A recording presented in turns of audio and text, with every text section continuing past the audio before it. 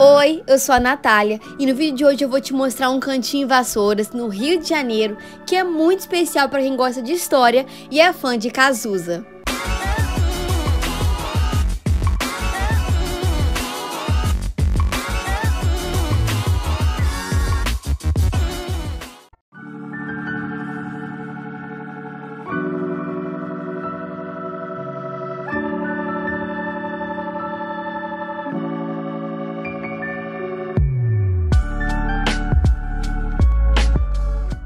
Você é fã de Cazuza, você com certeza vai querer conhecer o Centro Cultural Cazuza, que tem sede na antiga casa da mãe do cantor e que é perfeito para você conhecer um pouquinho da história dele.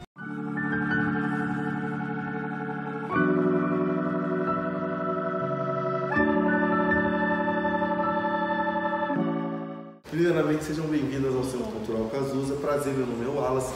Eu vou guiá-las pela casa.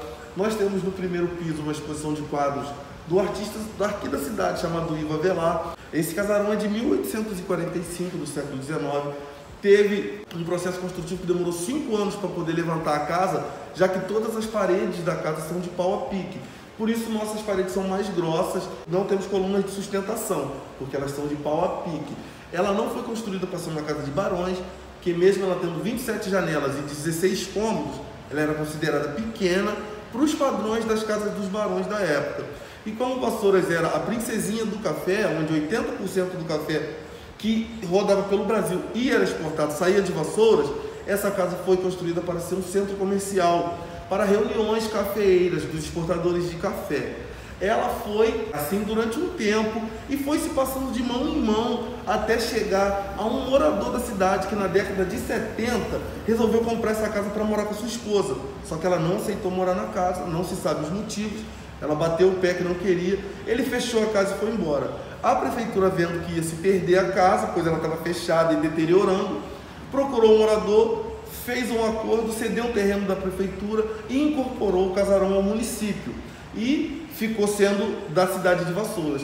Em meados da década de 90, a prefeitura montou nesse casarão a Casa de Cultura Presidente Tancredo Neves e foi-se como Casa de Cultura até meados de 2012, de 2013, onde a casa sofreu uma infestação de cupins.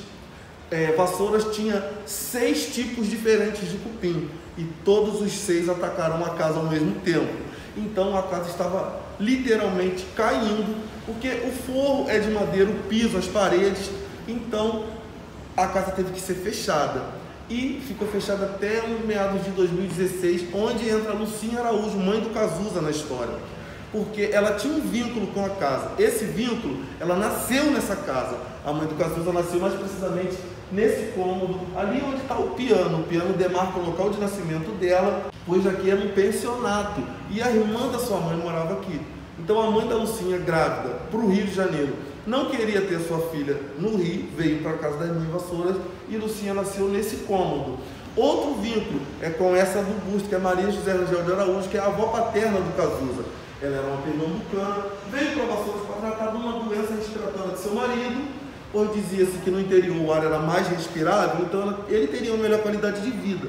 E ela era uma educadora. Chegando aqui, ela vendo a dificuldade das pessoas daqui ter uma formação, montou nessa casa também o primeiro ginásio masculino da cidade de Vassouras.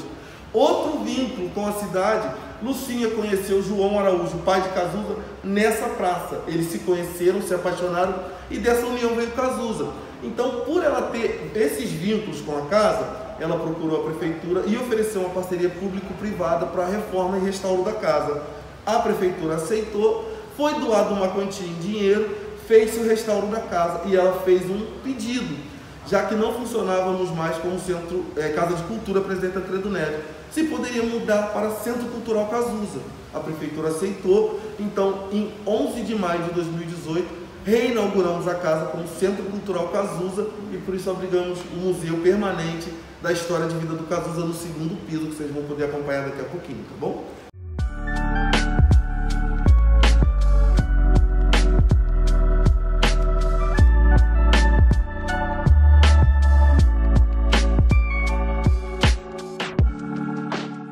Esse é um mostrativo que as paredes da casa são todas por aqui. Toda a extensão da casa, as paredes por dentro são assim. No segundo piso tem um parecido com esse, mostrativo, que tem bambus, porque como era o segundo piso, é, o segundo piso tinha mais bambu para as paredes serem mais leves.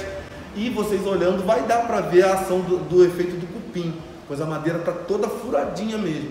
Então se não tivesse sido feita uma reforma, hoje não teríamos casarão para vocês poderem Sim, visitar. É verdade.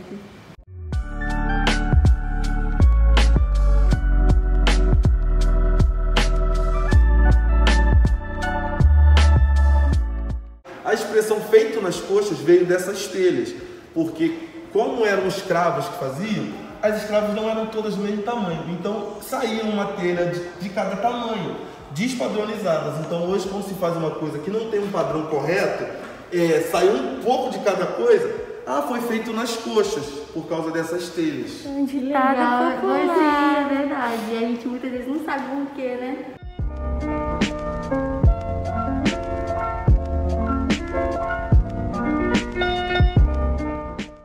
cadeiras eram masculinas, sabemos porque as cadeiras para homens tinham apoio de braço e as cadeiras para mulheres não tinham. Por quê? Porque as mulheres usavam aqueles vestidos grandes, com aqueles arcos, então elas não caberiam nas cadeiras com braço. Por isso que somente cadeiras para homens tinham apoio de braço.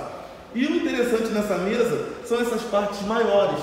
Eram feitas assim para que quando você colocasse a cadeira, você só coubesse ali o seu corpo ali certinho ali e evitasse que você tentasse roubar durante as partidas, passar carta por baixo da mesa, tentar fazer qualquer tipo de, de, de roubo, de roubalheira durante as partidas.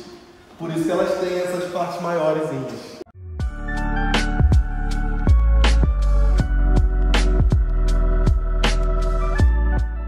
E, como eu disse para você ali, esse é o piso original da casa. Dá para perceber a diferença ao pisar nele que ele estala, ele balança. O barulho que eu te falei. É, a cor é diferente até do que sofreu um processo de resinamento lá. Nasceu em 4 de abril de 58 e faleceu em 7 de julho de 90. Eu tive contato com a cidade até uns 13, 14 anos. Né? Com a casa não existe nenhum registro apenas Lucinha, né, que nasceu nessa casa, é, patrocinando a reforma e o restauro em 2017, reabrimos em 2018 então, como Centro Cultural Casusa para perpetuar a história da família, né, é, aonde ela nasceu e aonde o filho poeta que arrancou. Nesse meio do caminho, nesses 52 anos de vida, em 87 surge a AIDS, o que realmente muda a sua forma de agir, de pensar, de viver. Naquele momento, não existia nada significativo de medicina no Brasil, como eles tinham uma condição financeira um pouco melhor, foram várias vezes a Boston atrás da única experiência chamada AZT, que seria um coquetel que chegaria ao Brasil em 91, aonde já teria falecido. E o que foi a ponte né, de falar assim, estou com um problema para uma solução. Naquela época, a AIDS era realmente uma doença mortal. Né? Hoje, uma doença crônica, existe o remédio, existe o tratamento, porém ainda não existe a cura.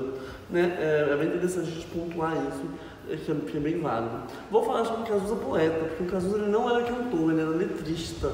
Né? Então ele, ele, tinha várias, tem ainda muitas composições que marcam a nossa vida. No decorrer da, da, da adolescência, Cazuza faz teatro, circo voador, aonde nesse, nesse burburinho todo conhece Léo Jaime, que apresenta ele é o Frejá, surgindo então o Barão Vermelho. Foram 10 anos consecutivos de sucesso e com influência de jazz, blues, de rock, é, que leva isso para o pessoal do Barão, eles não acham interessante, então que eles seguem carreira solo. Lançando cinco discos no decorrer dessa, dessa carreira solo, muito válida por sinal. Depois vou falar sobre eles. Alguns troféus, é, como intérprete, conjunto da obra, né, todo o projeto, banda. O filme veio em 2004 é um filme muito interessante, é onde realmente Lucinha fala do Cazuza como ser humano, né, com as questões de drogas e álcool, da sua bissexualidade, das questões de gênio, humor fortíssimo, nas músicas e da doença. Né, é muito bacana.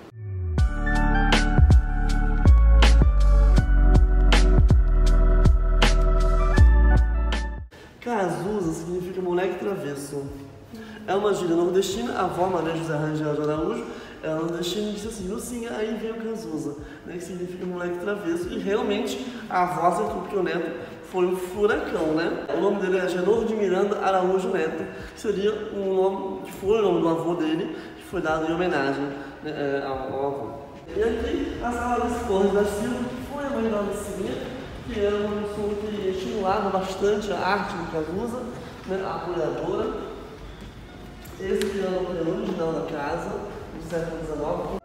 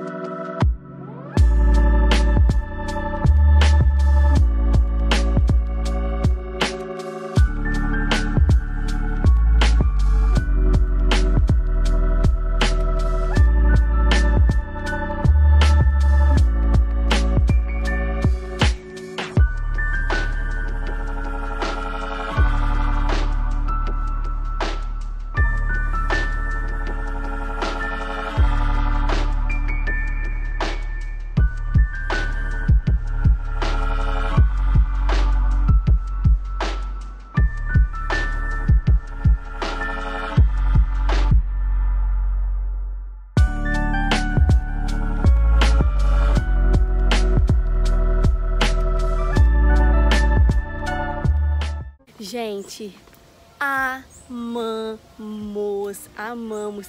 Me surpreendeu muito, muito, muito. Porque a gente, assim, foi de Cazuza? Não. Não. Mas, primeiro, que o tour guiado...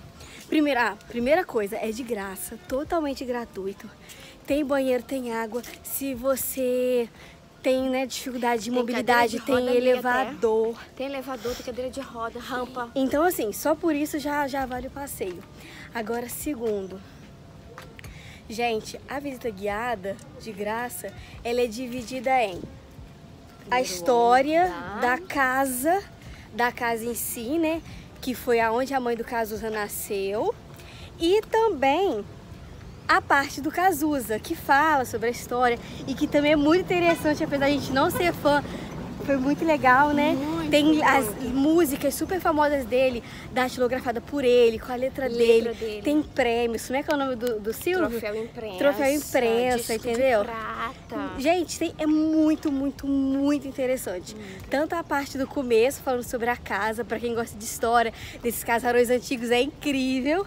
Quanto a parte do caso também. Pra quem é fã, não tem nem o que dizer. Né, não- e não tem- mesmo, Sim, agora, é, pra quem é fã, nossa, vai chorar. Com certeza, vai e chorar. tem a parte também histórica, pra quem ama história. mesmo pra quem não é fã do Cazuza, Isso. vale a visita, porque foi um tem a parte sonho. histórica que é muito bom. Foi muito, muito, muito, bom. Foi uns 40 muito bom. minutinhos. Gente, diz a Flavinha, 40 Flavinha minutos, contou 40 Flávia, que deu a gente lá dentro? 40 minutos e foi tudo. Foi, Gente, tudo. não perde, Não vai. perde. Além de tudo, além de ter, ter sido maravilhoso, é de graça, foi um sonho. Foi um sonho. Pois é, de graça tem injeção da testa. Não é verdade? Mas foi muito bom. Foi, não, não, foi gente, muito não, bom. Não deixa de ir, não. Vai, vai. Foi muito bom, nos surpreendeu demais. É um passeio que dá vontade de fazer mais vezes, não é? Sim, Pra sim. admirar mais e melhor. Sim. O endereço do Centro Cultural Cazuza vai ficar aqui na descrição desse vídeo, mas eu já adianto que ele fica bem próximo à Praça Barão de Campo Belo. Não esquece de deixar o like nesse vídeo, também inscrever no canal se ainda não é inscrito e, claro, me acompanhar lá no Instagram, porque lá eu compartilho dicas de viagem diariamente. Tchau, até o próximo vídeo!